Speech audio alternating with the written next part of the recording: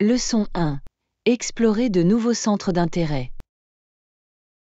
Bonjour Anna, j'ai entendu dire que tu explorais de nouveaux loisirs récemment. Dites-moi plus. Ah oui, je me suis diversifiée et j'ai essayé quelques nouvelles choses. Pour être honnête, cela a été très fascinant. C'est super. Quels sont les nouveaux centres d'intérêt que vous vous êtes lancés? Eh bien, j'ai récemment commencé à suivre un cours de photographie en ligne et j'ai vraiment apprécié. De la photographie, hein? Cela semble être un merveilleux exutoire créatif. Absolument. J'ai expérimenté différentes techniques et différents angles, et c'était très amusant. Je peux l'imaginer. Sur quel type de sujet vous êtes-vous concentré jusqu'à présent?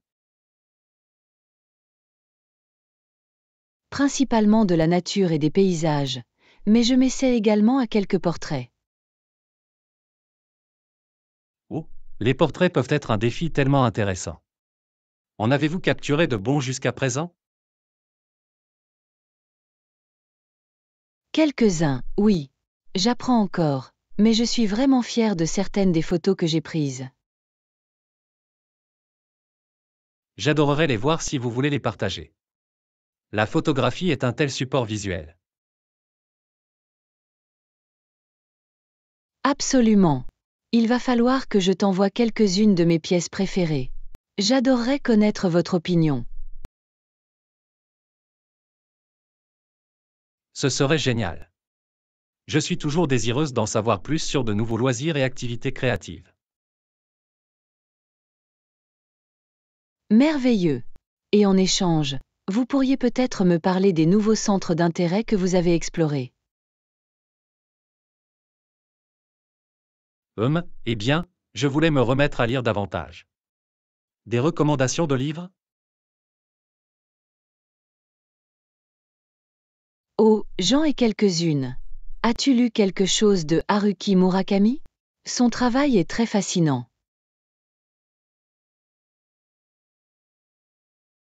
Murakami, hein?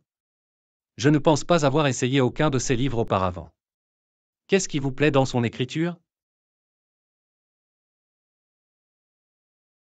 Sa narration est tellement immersive et suscite la réflexion. Les personnages et les décors prennent vraiment vie. Ça me convient parfaitement. Il va falloir que j'ajoute un de ces romans à ma liste de lecture. Absolument. Je recommande de commencer par The Wind-Up Bird Chronicle ou Kafka on a Shore. C'est noté, je vais m'assurer de les vérifier. Merci pour les recommandations. Bien sûr. Dites-moi ce que vous en pensez une fois que vous aurez eu l'occasion de vous y plonger. Fera l'affaire. Ce fut un plaisir de discuter avec vous et de découvrir vos nouveaux loisirs. De même, John. J'apprécie toujours nos conversations et la possibilité de partager des intérêts. Moi aussi. Je suis heureuse que nous ayons pu nous inspirer mutuellement pour essayer de nouvelles choses. Absolument. Il est important de continuer à élargir nos horizons, ne pensez-vous pas? Je suis tout à fait d'accord. Eh bien, je devrais probablement vous laisser vous remettre à vos photos. Ça a l'air bien. À bientôt, John. Bonne lecture.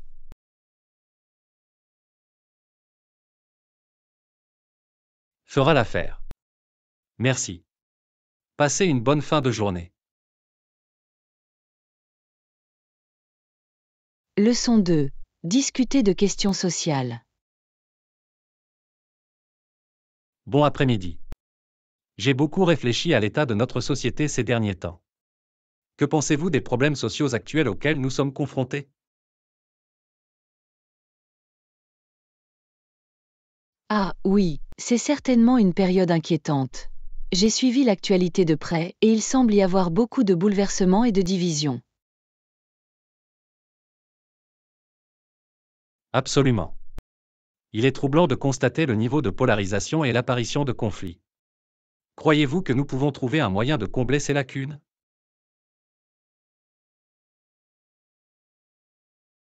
C'est une question complexe, mais je pense qu'il y a une voie à suivre si nous sommes prêts à engager un dialogue ouvert et honnête. Je suis d'accord, une conversation constructive et la volonté de comprendre différents points de vue sont essentiels.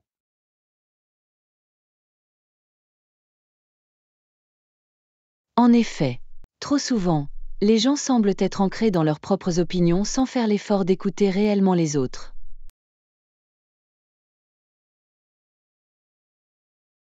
Exactement. Et cela ne fait qu'exacerber les problèmes auxquels nous sommes confrontés en tant que société. Définitivement. Pensez-vous qu'il existe des mesures spécifiques que nous pourrions prendre pour promouvoir un discours plus significatif? Eh bien, je crois que l'éducation joue un rôle crucial. Enseigner la pensée critique et mettre l'accent sur l'empathie pourrait être un bon début. C'est un excellent point. Si nous parvenons à inculquer ces valeurs aux jeunes générations, cela pourrait faire une différence significative.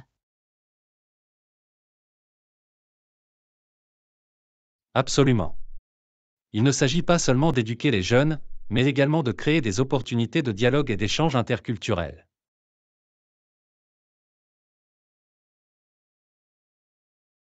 Tout à fait exact. Il est très important de favoriser un sentiment d'appartenance à une communauté et une compréhension partagée.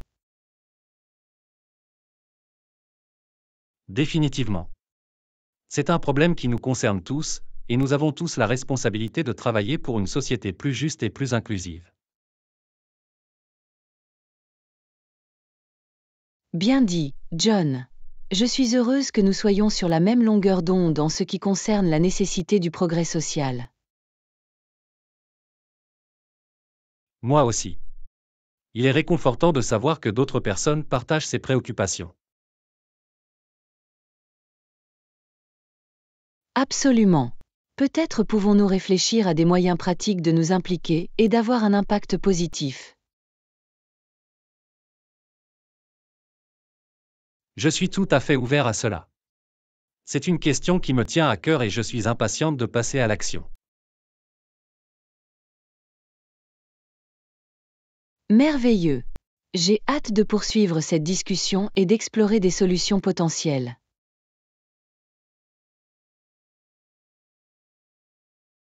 Ça a l'air bien. Je vous remercie d'avoir pris le temps d'en parler avec moi.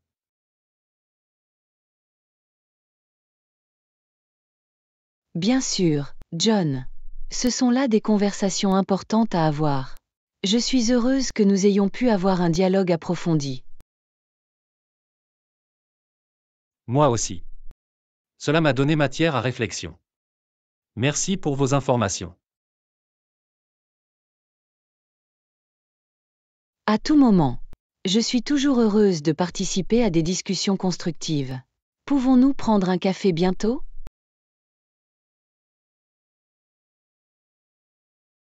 Ça a l'air d'être une bonne idée.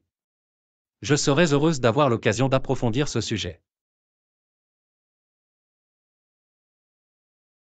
Parfait, je vais vous contacter et nous trouverons une heure qui convient.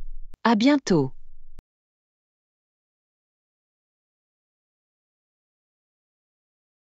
Ça a l'air bien. Je l'attends avec impatience. Passez une bonne fin de journée. Leçon 3. Bookworm Adventures. Très bien, allons-y. J'ai envie d'une aventure littéraire.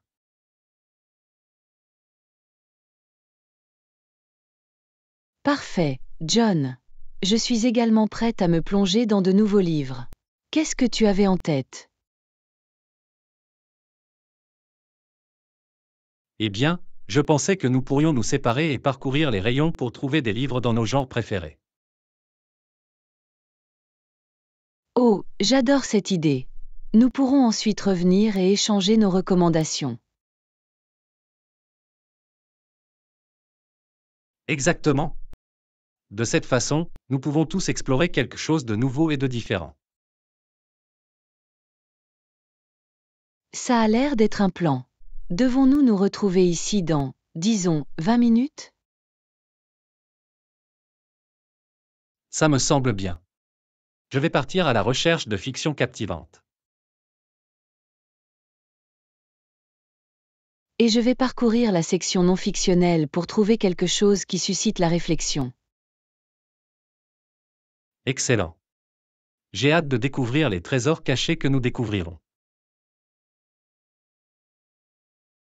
Moi non plus. Ça va être tellement amusant. Très bien, allons-y.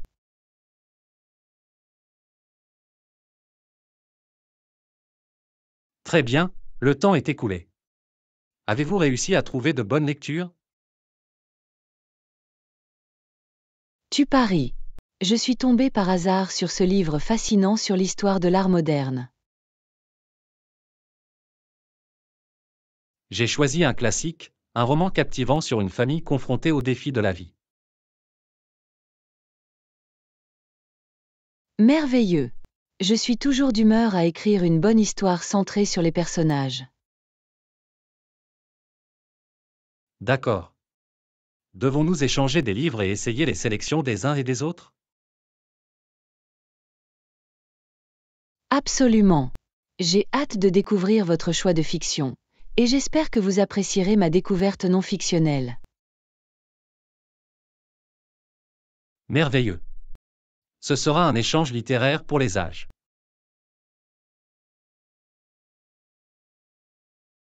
Je n'en doute pas.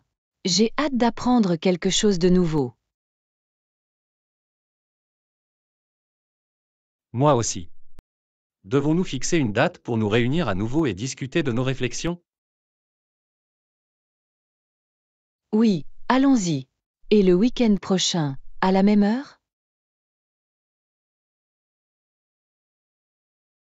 Ça a l'air parfait. Je vais le noter dans mon calendrier.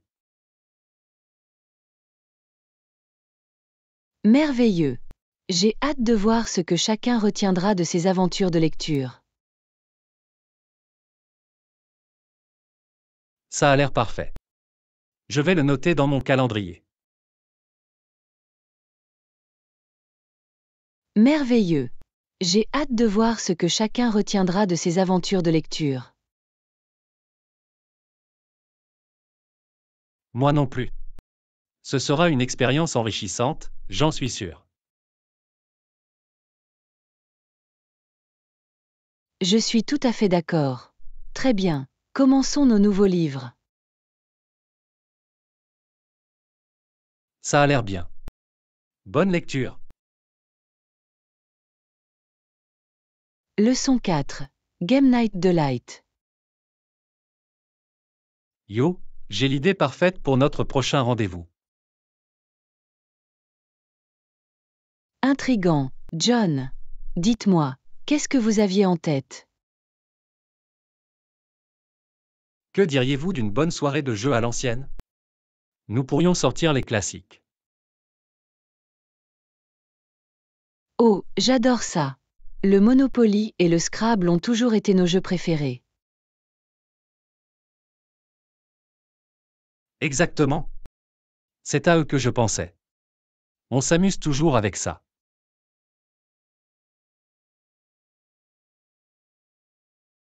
Absolument. La compétition amicale et les plaisanteries pleines d'esprit ne sont que la moitié du plaisir. Je suis tout à fait d'accord. Alors, qu'en dites-vous? Soirée match ce week-end? Ça a l'air délicieux. Je vais vider mon calendrier et me préparer à dominer. Ah, on va voir ça.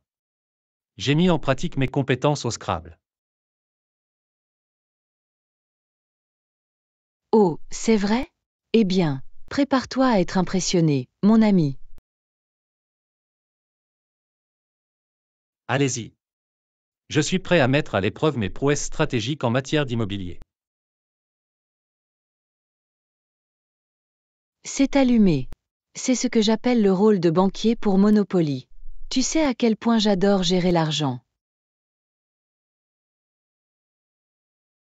Ah, pas d'argument ici. Je serais heureuse de prendre le chapeau haut de forme et de tenter ma chance. Parfait, ça va être épique. Je sens déjà l'adrénaline monter.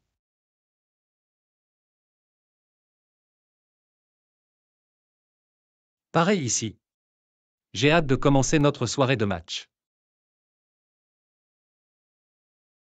Moi aussi. D'accord, établissons un plan. Quelle heure vous convient le mieux? Que diriez-vous de 19h Cela devrait nous laisser suffisamment de temps pour jouer quelques parties. Ça me semble bien.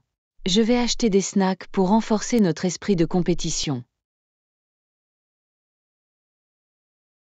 Excellente idée. J'apporterai les boissons pour nous hydrater. Merveilleux. Ce sera une soirée inoubliable, je peux le dire. Absolument. Cela fait trop longtemps que nous n'avons pas eu une bonne soirée de jeu à l'ancienne. Je suis tout à fait d'accord. Je suis prête à mettre nos compétences à l'épreuve. Moi aussi. Très bien, allons-y. Puisse le meilleur joueur gagner. Leçon 5. La routine matinale compte. Bonjour. J'ai une question pour toi. Oh, bonjour John. À quoi penses-tu? Le matin, avez-vous une routine particulière que vous aimez suivre? C'est une question intéressante. J'ai un petit rituel matinal auquel j'ai tendance à m'en tenir. Raconte-le. Je suis toujours curieuse de connaître le quotidien des autres. Eh bien, je commence généralement ma journée par quelques étirements légers, puis par une rapide séance de cardio. Ah, le vieux mélange d'étirement et de transpiration. Je peux respecter cela. Exactement. Je trouve que cela m'aide vraiment à me réveiller et à reprendre de l'énergie pour la journée. C'est tout à fait logique.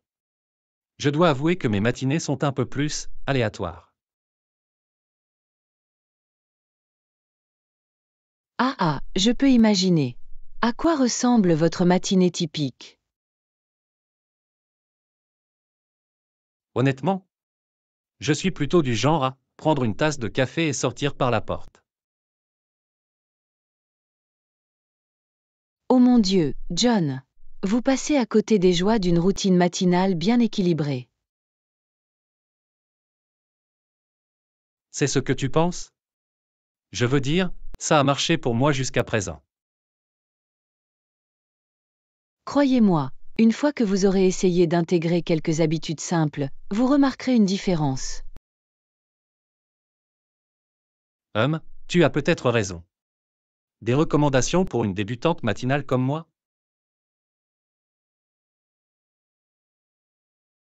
Absolument. Commencez par quelques étirements légers, ne serait-ce que 5 à 10 minutes. Cela m'aide vraiment. Très bien, je suis prêt à essayer. Que suggérez-vous d'autre? Eh bien, une séance de cardio rapide, comme une marche rapide ou un jogging, peut également changer la donne. D'accord, d'accord, je peux voir l'appel. Des étirements, du cardio, puis un café. J'ai compris. Exactement. Il s'agit de vous préparer pour une journée productive et pleine d'énergie. Tu sais, plus tu en parles, plus je suis convaincu que je dois essayer. Je pense vraiment que tu remarqueras une différence, John. Votre corps et votre esprit vous en seront reconnaissants. Très bien, tu m'as vendu. À partir de demain, je vais remanier ma routine matinale. Y à Y, je suis tellement contente pour toi. Dites-moi comment ça se passe, d'accord? Fera l'affaire. Merci pour les conseils. J'apprécie que tu aies pris le temps. Bien sûr. Je suis toujours heureuse de partager un peu de sagesse. Profitez bien de votre nouvelle routine. Je le ferai certainement. À plus tard. Leçon 6. À la découverte des merveilles de l'Égypte. J'ai entendu dire que tu es allé en Égypte récemment.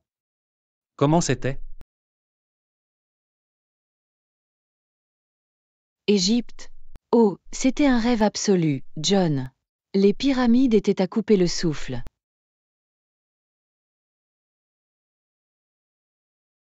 Ah, les pyramides. J'ai toujours voulu les voir en personne. Comment c'était?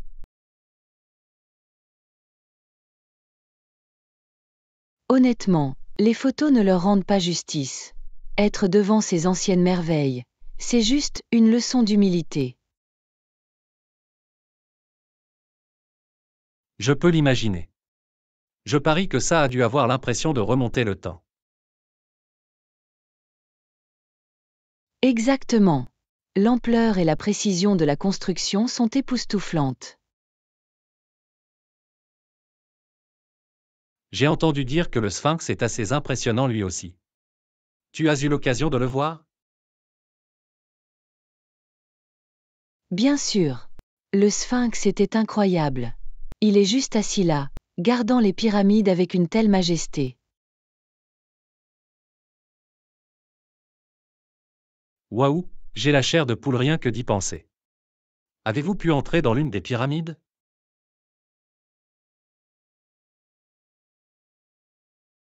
Je l'ai fait. C'était une expérience incroyable. Les couloirs et les chambres à l'intérieur sont tout simplement impressionnants.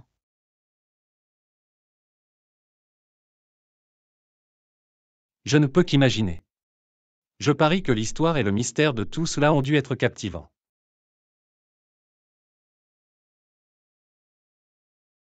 Absolument. Cela m'a vraiment fait apprécier l'ingéniosité et le savoir-faire des anciens Égyptiens. Je parie. Alors, quelle a été votre partie préférée de tout le voyage? Qu'est-ce qui vous a le plus marqué?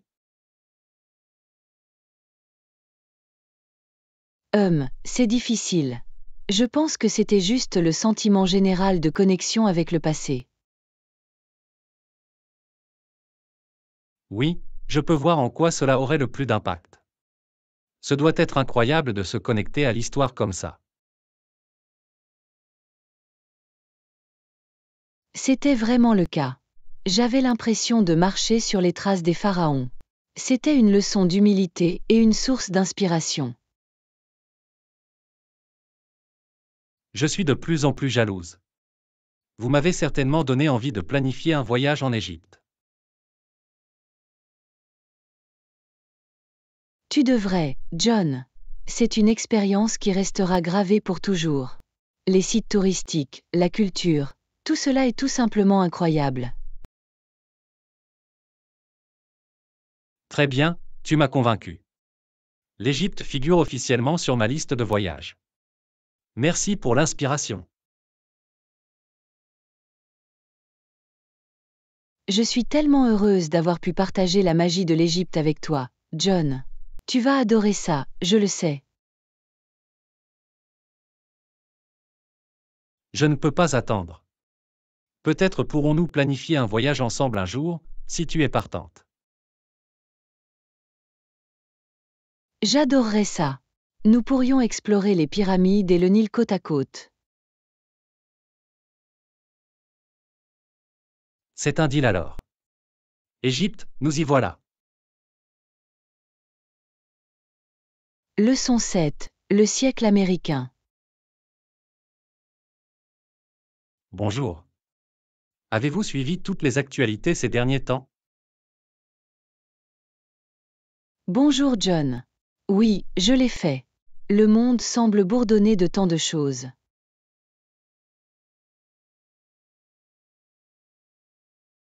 Absolument. Ça a été une course folle, n'est-ce pas? Ce siècle s'annonce vraiment comme le siècle américain.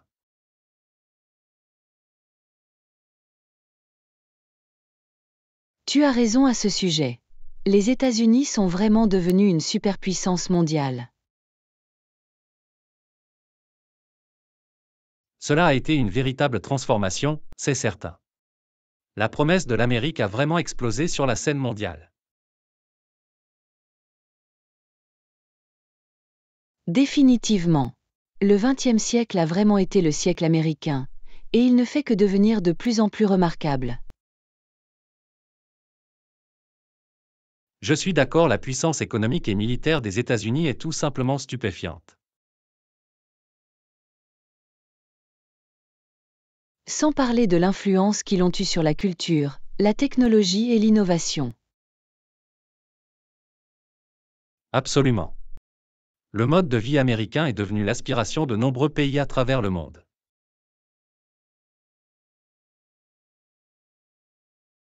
Cela a été un voyage remarquable, n'est-ce pas? De modestes débuts à cette superpuissance mondiale. C'est vraiment le cas. Et le meilleur, c'est que nous avons l'impression que nous ne faisons que commencer. Exactement. Le potentiel des États-Unis pour continuer à dominer le monde est immense. Je ne peux m'empêcher de ressentir un sentiment de fierté, tu sais. L'Amérique a fait beaucoup de chemin. Je le comprends parfaitement. J'ai été témoin d'une transformation remarquable. En effet. Et j'ai hâte de voir ce que nous réserve le prochain chapitre du siècle américain. Moi non plus, John. L'avenir s'annonce plus prometteur que jamais pour les États-Unis.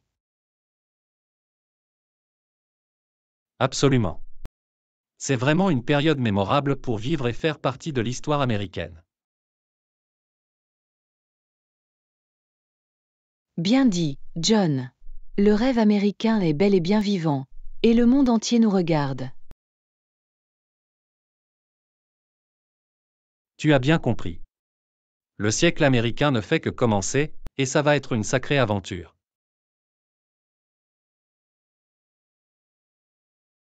Leçon 8. L'artiste et la frontière. Salutations. Connaissez-vous la fascinante histoire de la vie de Paul Kane? Ah, non, je ne crois pas le connaître. Dites-moi plus. Eh bien, Paul Kane était un artiste d'origine irlandaise qui a déménagé à Toronto, au Canada, alors qu'il était jeune garçon. Intéressant. Qu'est-ce qui l'a rendu si remarquable? Kane était un artiste pionnier qui a documenté la frontière canadienne au XIXe siècle. Waouh, ça a dû être une sacrée aventure pour lui. À l'époque, la frontière canadienne devait être sauvage et indomptée. Absolument. Kane a beaucoup voyagé dans l'Ouest canadien, dessinant et peignant les peuples autochtones et les paysages accidentés.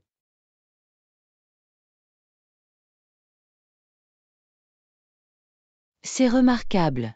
Il devait avoir le sens du détail pour immortaliser cet univers sur la toile. En effet. Les œuvres de Kane constituent un témoignage historique inestimable d'une époque et d'un lieu en évolution rapide. Je ne peux qu'imaginer les défis auxquels il a dû faire face en voyageant dans ces régions reculées. Tu as raison, ce n'était pas une mince affaire, mais Kane était animé par la passion de documenter ce mode de vie en voie de disparition. C'est tellement admirable. Il devait également être un véritable pionnier dans le monde de l'art.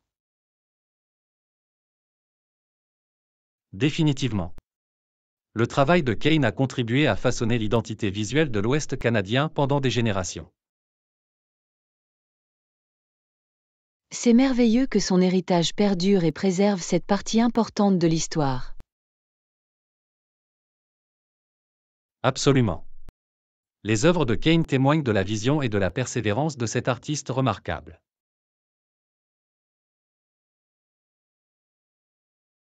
C'est une histoire fascinante.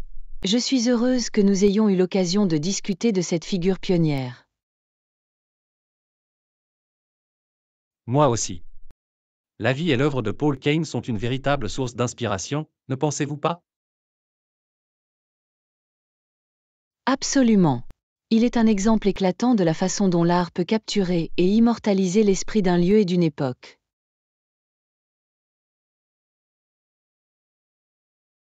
Bien dit.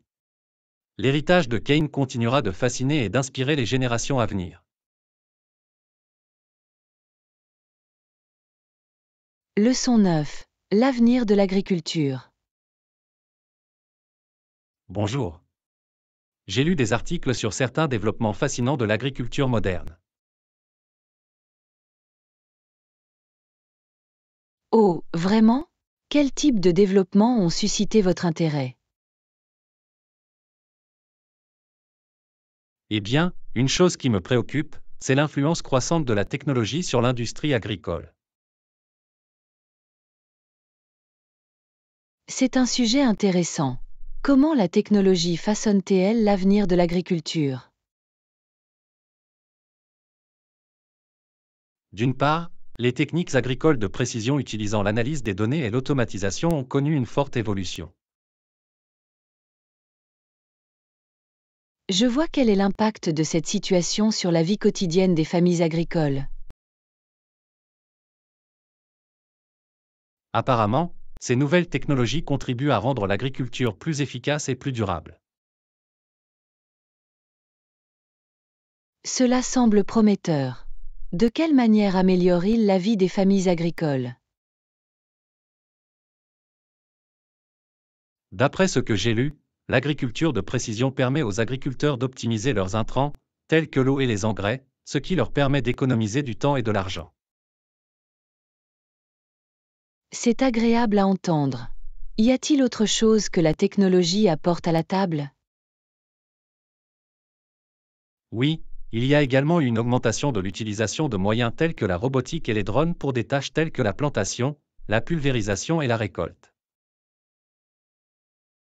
Waouh Cela doit révolutionner la façon dont l'agriculture est pratiquée. Ces nouvelles technologies sont-elles accessibles à la plupart des agriculteurs? C'est une bonne question. Il semble que ce sont les exploitations agricoles les plus grandes et les plus industrialisées qui ont réellement adopté ces nouvelles technologies jusqu'à présent. Je vois on craint donc que les petites exploitations familiales ne soient laissées pour compte?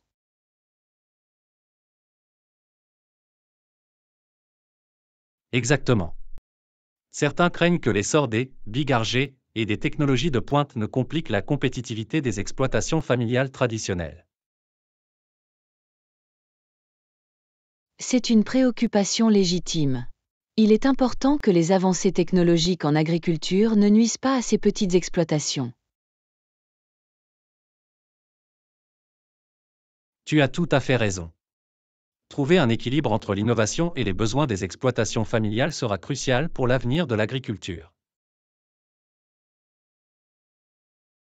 C'est une question complexe, mais elle est très importante pour garantir la durabilité de nos systèmes alimentaires. Définitivement. Je suis heureuse que nous ayons eu l'occasion de discuter de ce sujet. Cela m'a donné beaucoup de choses à penser.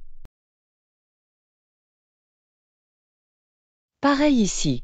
L'avenir de l'agriculture sera certainement un domaine intéressant et en évolution rapide.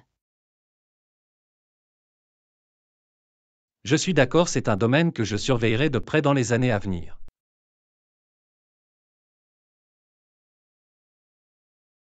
Leçon dit. L'offre de sauce pour pâtes. Yana, as-tu remarqué que l'épicerie locale propose une offre intéressante sur la sauce pour pâtes? Non, je n'en avais pas entendu parler. Quel est le deal? Ils font une promotion pour en acheter une et bénéficier d'une promotion gratuite sur toute leur variété de sauces pour pâtes. Waouh, c'est une offre incroyable. J'adore la sauce pour pâtes, alors je vais certainement y jeter un œil. Pareil ici. J'avais prévu de faire des provisions, car nous les consommons si vite dans notre foyer. C'est une bonne idée. La sauce pour pâtes est un ingrédient tellement polyvalent à avoir sous la main. Absolument. Je l'utilise pour tout, des spaghettis aux pizzas faites maison. Oh, les pizzas faites maison ont l'air délicieuses. Avez-vous une marque de sauce pour pâtes préférée? Vous savez, je suis assez fidèle à une marque en particulier. Leur sauce marinara est hors du commun. Ou, raconte-le. De quelle marque s'agit-il? C'est la marinara Nona S Delight. L'avez-vous déjà essayé? Je ne pense pas l'avoir fait, mais le nom semble intrigant. Qu'est-ce qui le rend si spécial? Eh bien, ils utilisent des ingrédients entièrement naturels et une recette familiale secrète qui lui donne ce goût riche et savoureux.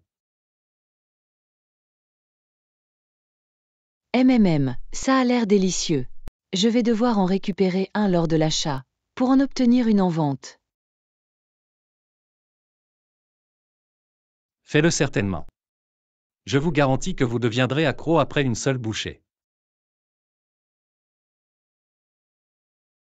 J'ai hâte. Cela va rendre la préparation des repas beaucoup plus facile.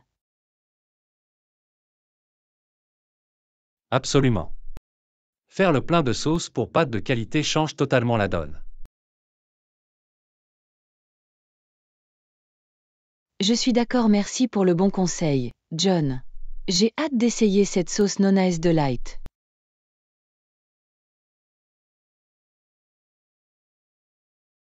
C'est un plaisir. Dites-moi ce que vous en pensez. J'ai l'impression que ça va devenir ta nouvelle référence. Leçon 11. Poursuivre un doctorat. Matin. J'ai entendu dire que vous cherchiez à obtenir un doctorat. Est-ce vrai? Oui, c'est exact. J'ai fait de nombreuses recherches sur les exigences. C'est passionnant. Qu'est-ce qui vous a poussé à poursuivre des études de doctorat? Eh bien, j'ai toujours été passionné par mon domaine et je pense qu'un doctorat ouvrirait de nouvelles opportunités.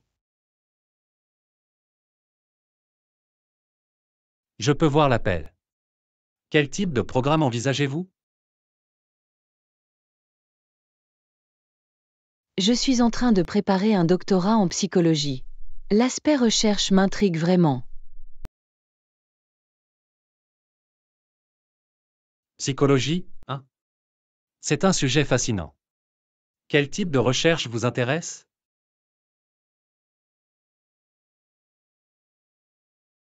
Je suis particulièrement attiré par la psychologie du développement et par la façon dont les expériences vécues pendant la petite enfance nous façonnent. C'est un sujet profond et important. Sur quoi portera votre thèse?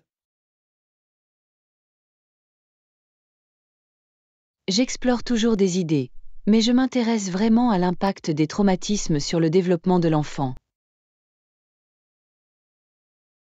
Waouh, c'est un domaine d'études lourd mais crucial. Avez-vous déjà entamé le processus de candidature? Pas encore, mais je prévois de m'inscrire à des programmes cet automne. Les exigences semblent assez élevées. Je parie. Entrer dans un programme de doctorat de haut niveau n'est pas une mince affaire. Quelle est la chronologie que vous envisagez? Si je suis accepté, je commencerai probablement le programme à l'automne prochain. C'est un engagement de 4 à 5 ans. Arg, c'est un gros investissement en temps et en énergie. Êtes-vous prêt à ce genre de dévouement?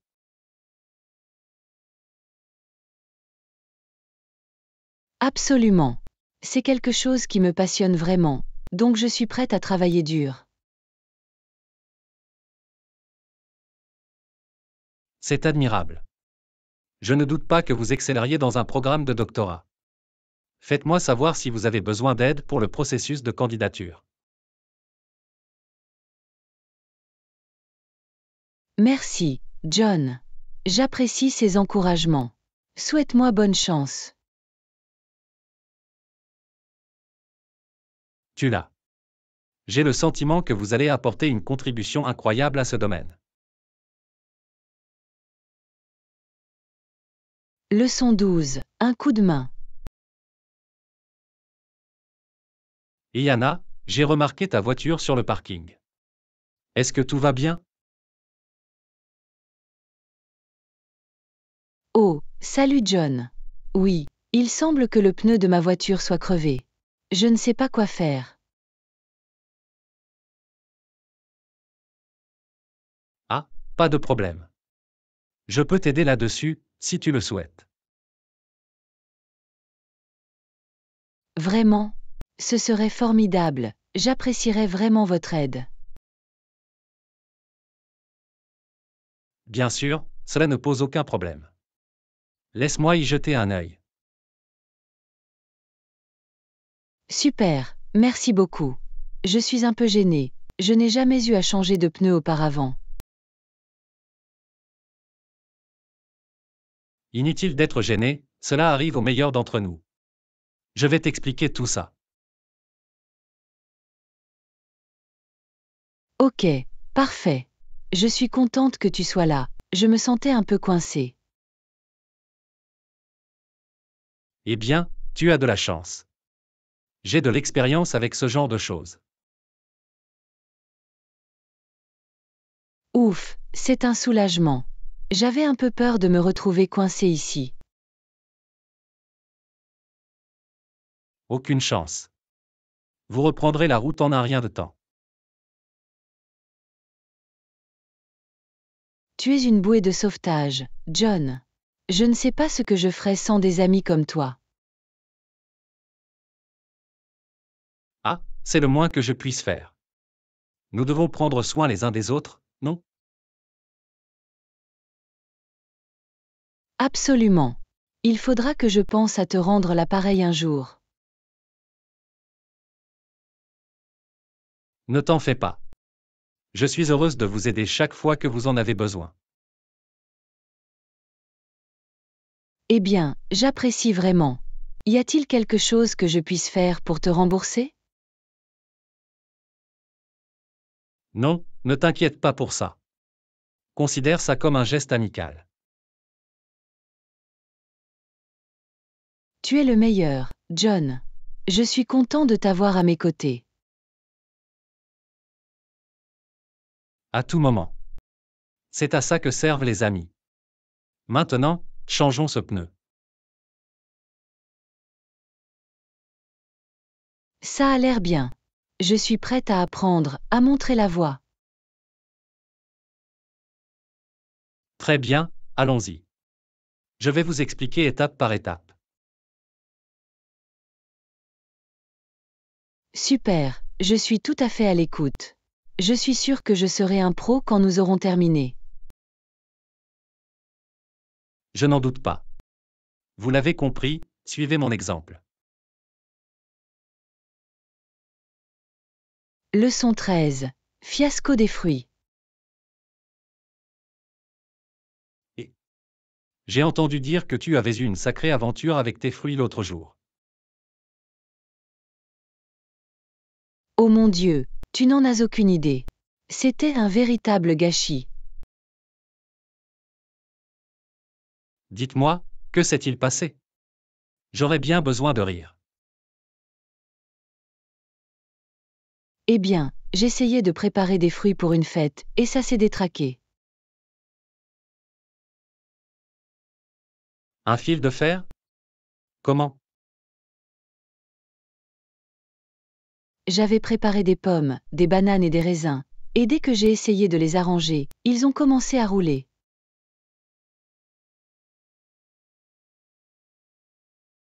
Ah, tu t'en vas? Quoi? Aviez-vous un tas de produits malhonnêtes entre les mains? Exactement. J'étais en train de courir après des raisins dans la cuisine, en essayant de me disputer ces fruits fugueux. Oh mec, cette image mentale est tout simplement trop bonne.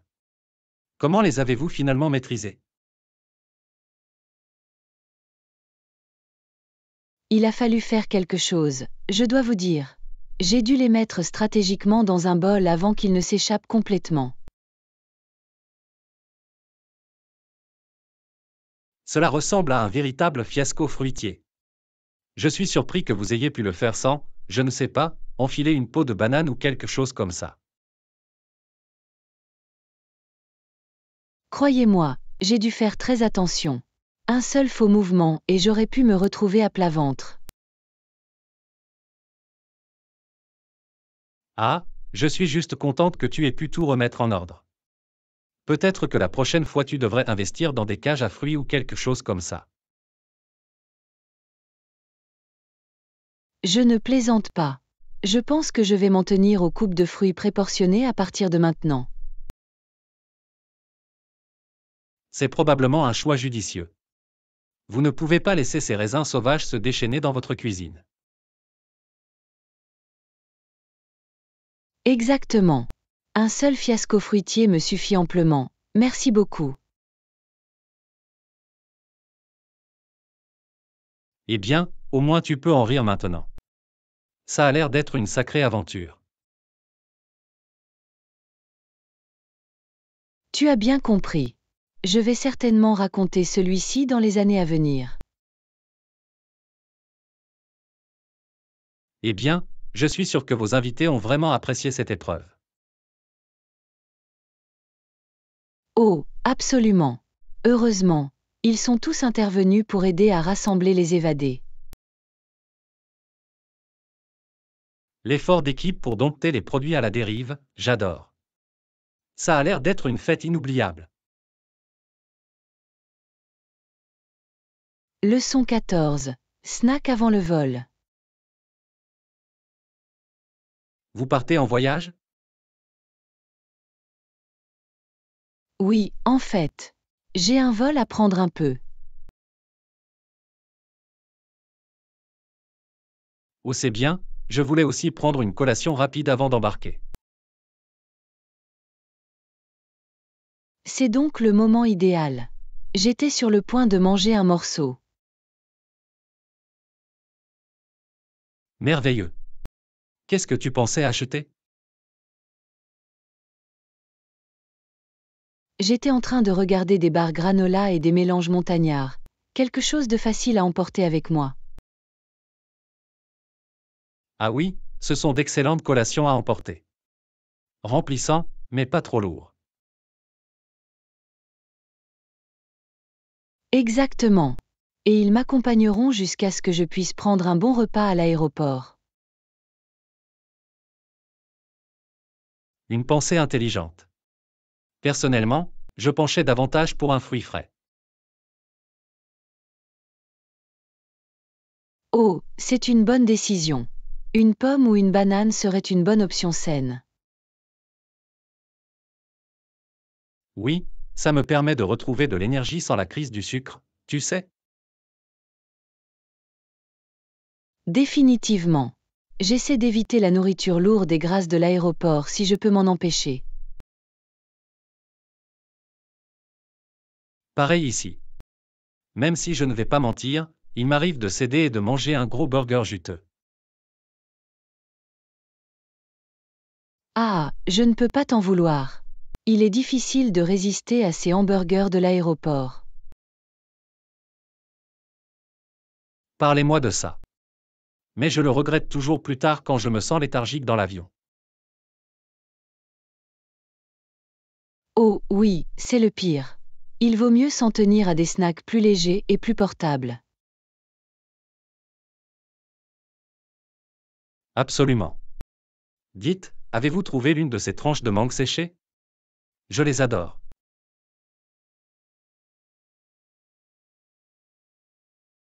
Oh non, mais c'est une super idée. Il va falloir que je passe voir s'ils en ont. Tu ne le regretteras pas. Ils offrent l'équilibre parfait entre sucré et moelleux. Parfait, il va falloir que j'en récupère.